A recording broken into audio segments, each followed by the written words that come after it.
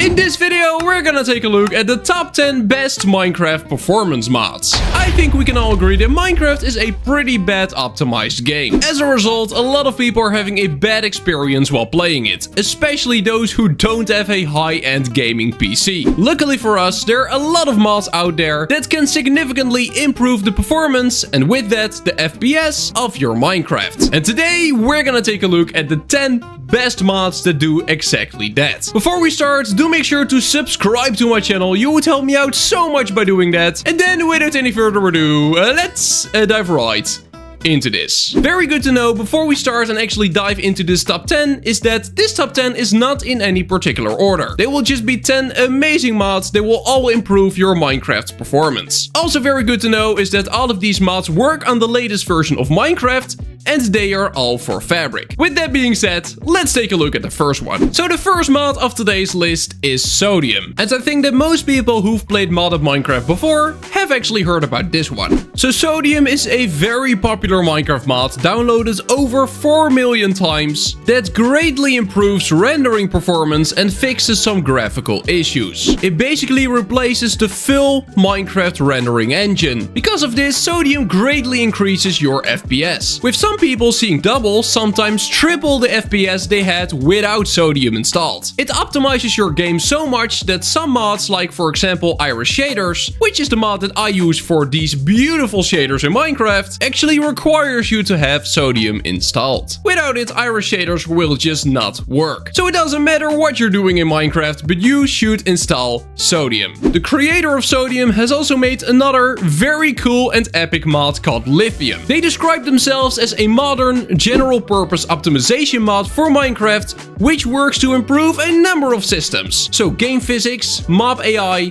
block ticking and a lot more. I would always recommend installing this mod alongside Sodium as it just improves the game a lot more and will enhance your FPS even further. Now the same developer also has a third mod called Phosphor, which improves the lighting engine. The most inefficient part of Minecraft. Though I would actually not recommend going for Phosphor, but instead I would recommend going for Starlight. So the idea of these two mods are the same, they completely enhance the lighting engine of Minecraft. But even though there's nothing wrong with Phosphor, Starlight just does it a little bit better. Now, if you're playing in Minecraft 1.20, Starlight is not required anymore. Like stated over here, Mojang improved upon their own lighting engine using the same performance critical designs for Starlight. As a result, they have closed the performance gap, obsoleting Starlight on the client side. Basically meaning that if you're playing in 1.20, Starlight is not really needed anymore. Though there's still a lot of people who are not playing Minecraft in 1.20. And most mod packs in general are not for 1.20 yet. So if you're playing in any other version than 1.20, then this might be a really good mod for you to install. Now, next on the list, we have Immediately Fast. And this Minecraft mod basically increases certain aspects of the game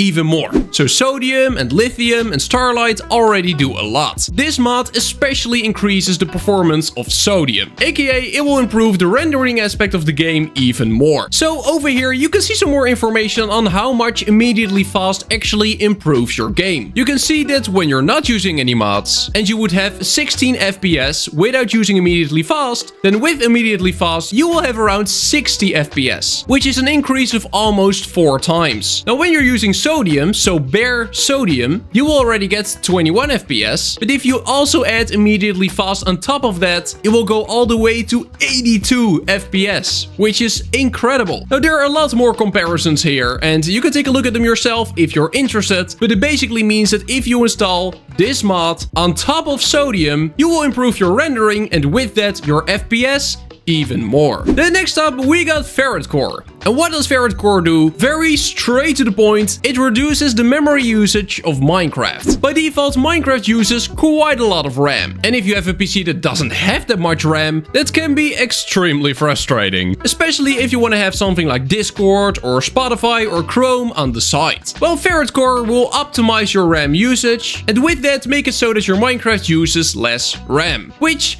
it doesn't matter if you're running a high-end PC or not, optimizing the game even more is always a great thing to have. So I would highly recommend installing Ferrite Core. Now another thing in Minecraft that can lag your game out quite a bit especially if you have some kind of huge mob farm, is XP orbs. They might not look like they're lagging out your game, but oh boy can they lag it out. A mod called Clumps fixes this by basically just combining a lot of XP orbs together in a single entity. And with that, it reduces lag. It is such an easy mod. It is literally drag, drop, and you're done. Which, by the way, goes for most mods I'm covering today. But if you have a lot of mob farms or if you're overall experiencing lag because of XP orbs, then this is the best mod to install to fix exactly that. Now, do you want to improve your Minecraft rendering even more?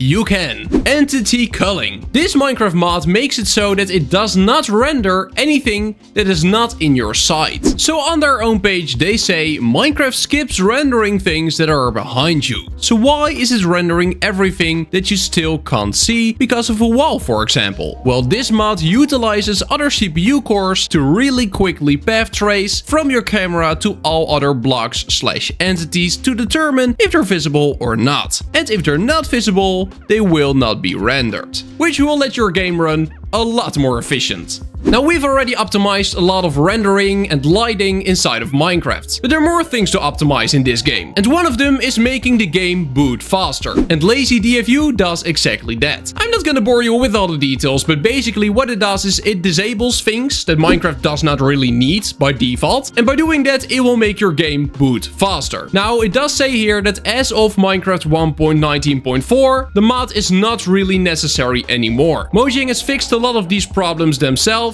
and it is now just not required. Though because I know that a lot of mod packs are not even compatible with version 1.18 yet, this mod might be really really handy for you. Now we're getting close to the end and your game should already be very very optimized. But next up we have memory leak fix. A mod that fixes multiple memory leaks in Minecraft, both server side and client side. Now this mod actually recommends you to use lithium and ferrite core, which both of these mods I've covered earlier in this video, but there are quite a lot of known memory leaks inside of Minecraft. Not all of them have been fixed yet, and this mod will fix some of those known memory leaks. There's literally no downside to installing this one, so I would highly recommend it. And then this mod, FPS Reducer. I I've been using it for a while now and it is so great. It basically reduces unnecessary GPU and CPU load by reducing the frame rate automatically when the client window is inactive. So basically you have Minecraft, you're playing the game and then you decide to tap out of there for a bit. You're going to Chrome, you're maybe gonna watch a YouTube video, but Minecraft is still on in the background. Then believe it or not, the game is still taking a lot of resources, especially when you're running shaders like I always am, it can bring your GPU all the way up to like 80 degrees. From my own personal testing, my CPU and GPU were more overloaded when not focused on Minecraft than when I was actually focused on the window. It is insane. It is so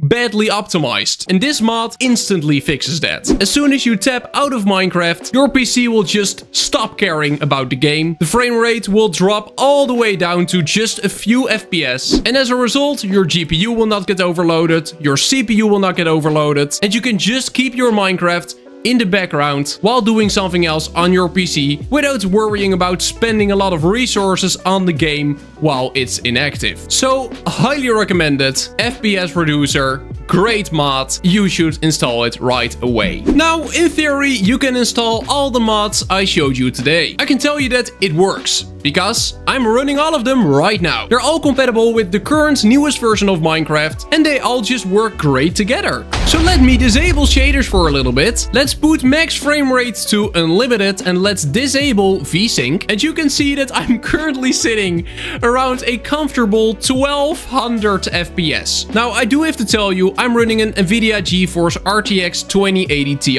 alongside an Intel Core i9-9900K. So this was basically the latest hardware a couple of years back, but the fact that when doing nothing I get 1200 FPS, almost 1300 FPS, and when I start jumping around in game, it will drop to around 900, 1000, something like that.